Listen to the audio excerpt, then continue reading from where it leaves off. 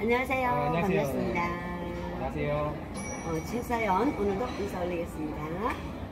자, 우리 오늘 옆에 엄청 잘생긴 청년이 계세요. 어, 나이는 비밀. 자, 자기 소개해 주세요. 아, 안녕하세요.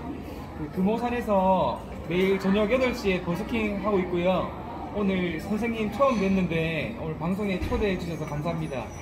나중에 2시에 뵙도록 하겠습니다.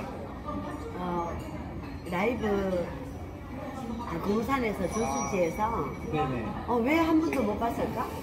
어, 시간대가 좀 마주칠 시간이 달라지 않나. 아 그래요? 금산에 내가 안 가서 몰랐던 것 같아. 네. 응. 아, 한번 가볼 걸. 이제 알았으니까 한번 가봐야지. 네, 아, 언제든지 오세요. 그럼 몇 시에서 몇 시까지예요? 금산에서? 8시에서 한 10시까지 합니다. 아 내가 시작하기 전이구나. 내가 9시에 항상 방송하니까 밤에. 그럼 그 전에 내가 한번 가서 한번 봐야 되겠다.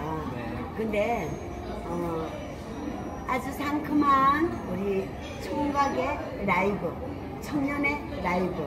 오늘 밤, 아니 오늘 밤이 아니다.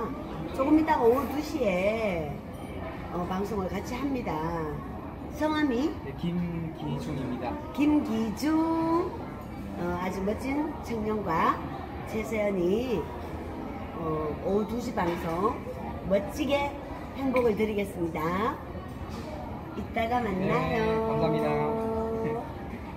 많은 사랑 부탁드리겠습니다. 이따가 봐요.